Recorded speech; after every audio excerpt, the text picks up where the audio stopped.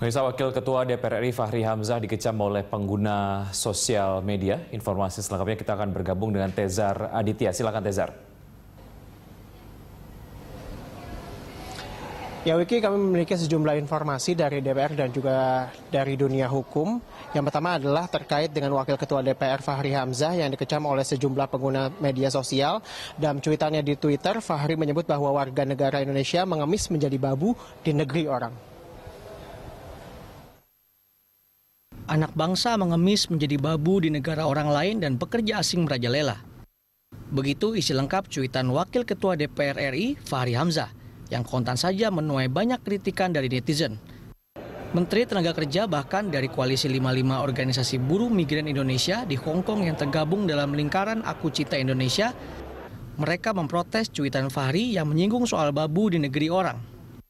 Ketua Laci Nur Halimah menyatakan cuitan Fahri Hamzah di media sosial dianggap merendahkan martabat pekerja Indonesia di luar negeri.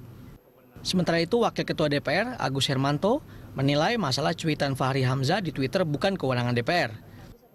Agus menilai Fahri Hamzah harus menyelesaikan urusannya secara personal.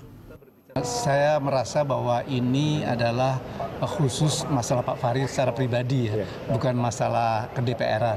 Kalau masalah kedPRan tentunya saya uh, wajib itu uh, memberikan keterangan, tetapi kalau ini masalah pribadi secara personel, rasanya tidak elok kalau saya memberikan keterangan hal-hal yang berkaitan dengan pribadi. Bukan kali ini saja pendapat kontroversial dan kontraproduktif Fahri mengemuka di publik. Bahkan ia pernah diberhentikan oleh partai PKS yang menaunginya. Dorongan agar Fahri Hamzah mempertanggungjawabkan ucapannya itu atau mundur dari posisi wakil ketua DPR menguat. Semoga saja Fahri Hamzah dapat segera menyelesaikan masalah ini. Tim Liputan Berita 1.